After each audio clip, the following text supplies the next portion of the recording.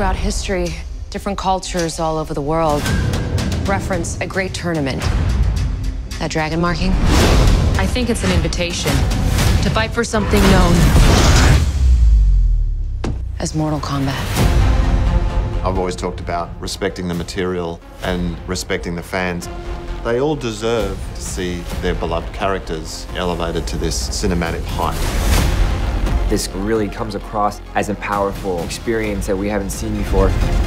It's this grounded, dramatic, but violent tale.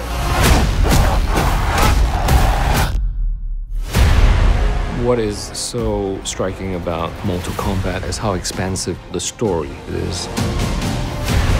It's epic. We have all the great characters that the fans love. I'm Sonya. Name's Jax. That's Kano. I'm Liu Kang. Kung Lao. Lord Raiden. Scorpion. I am Sub-Zero.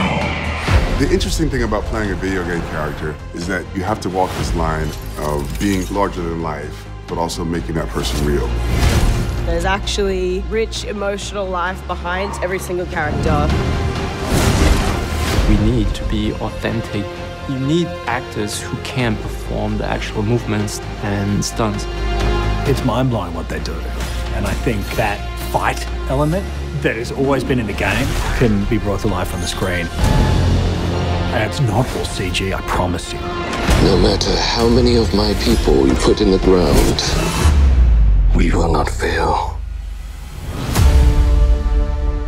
I've always believed that something elegant and beautiful can cohabitate with brutal and primal.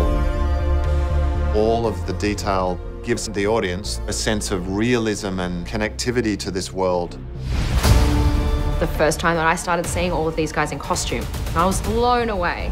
They've completely brought all of these characters to life. This is more than just seeing a movie produced. This is seeing something that I've been passionate about my whole life finally come to the screen.